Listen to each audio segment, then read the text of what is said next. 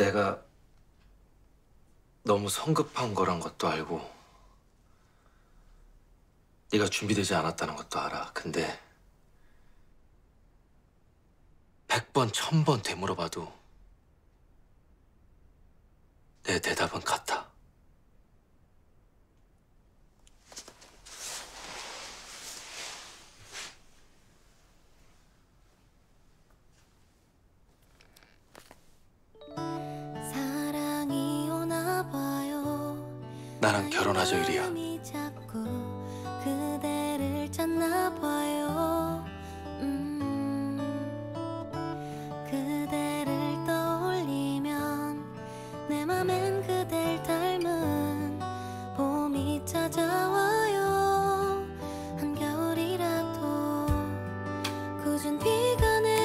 도 찬바람이 불 때도 난 항상 김- 김유리?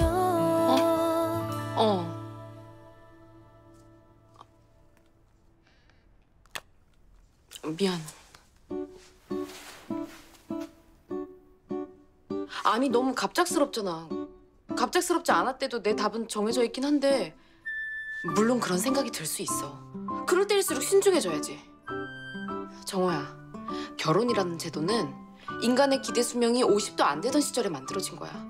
이 100세 시대에 세상이 바뀌고 있는데 너 결혼이라는 풍속이 여전히 유효한지 충분히 숙고해보고 결정한 거야? 응. 결혼, 즉 혼인은 두 사람이 부부가 되는 법률 행위야. 동거, 부양, 협조의 의무가 생기면 물론이고 그 재산과 노동력까지도 공유하겠다는 사회적 약속이라고. 내가 설마 그것도 모르고 너한테 말했을까 봐?